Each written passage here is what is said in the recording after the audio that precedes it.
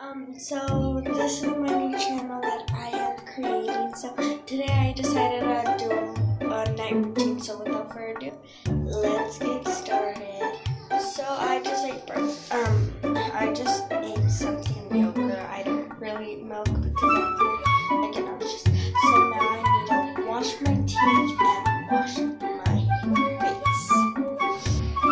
Done with face, all moisturized. Now teeth.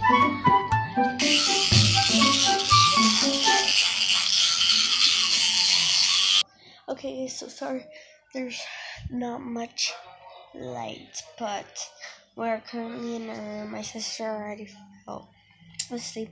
We're currently watching Jessie. It's our favorite show.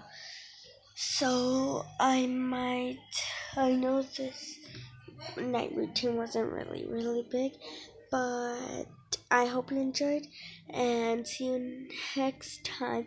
I will be doing a morning routine. So, yeah, bye.